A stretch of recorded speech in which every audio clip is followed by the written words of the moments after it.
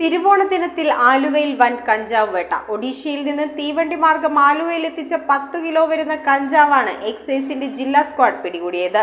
ഒഡീഷ സ്വദേശികളായ ഗോവിന്ദ് നായിക് മനോജ് കുമാർ മഹപത്ര എന്നിവരെ എക്സൈസ് ജില്ലാ സ്ക്വാഡ് അറസ്റ്റ് ചെയ്തു. ആലുവയിൽ വൻ കഞ്ചാവ് വേട്ട. തിരുവോണ ദിനത്തിൽ ഒഡീഷയിൽ നിന്ന് തീവണ്ടി മാർഗം ആലുവ പമ്പുകവലയിൽ എത്തിച്ച് മറ്റു ചിലർക്ക് കൈമാറാൻ കൊണ്ടുപോകുന്നതിനിടയിലാണ് എക്സൈസിന്റെ ജില്ലാ സ്ക്വാഡ് പത്തു കിലോ വരുന്ന കഞ്ചാവ് പിടികൂടിയത്. ഒഡീഷ സ്വദേശികളായ ഗോവിന്ദ് നായിക് മനോജ് കുമാർ മഹപത്ര എന്നിവരെ പോലീസ് അറസ്റ്റ് ചെയ്തു. ഒഡീഷയിൽ നിന്നും വൻതോതിൽ കഞ്ചാവ് എത്തിച്ച് നഗരത്തിൽ കൈമാറാറുണ്ടെന്ന രഹസ്യ വിവരം ലഭിച്ചതിന്റെ അടിസ്ഥാനത്തിൽ എക്സൈസ് സംഘം ദിവസങ്ങളായി നിരീക്ഷണത്തിലായിരുന്നു. ജില്ലാ squad circle inspector M Sajeev Kumar preventive officer James civil excise ഓഫീസർമാരായ എം എം അരുൺകുമാർ ബസന്ത് കുമാർ അഭിലാഷ് തുടങ്ങിയവർ പരിശോധനകൾക്ക് നേതൃത്വം നൽകി.